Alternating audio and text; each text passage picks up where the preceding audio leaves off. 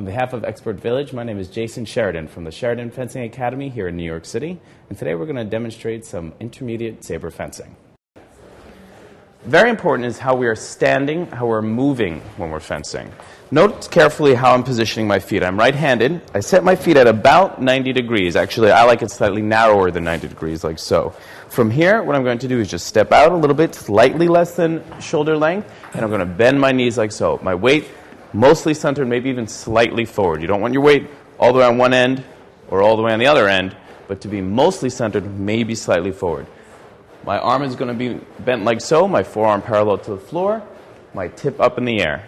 Watch it from here, the guard to the side.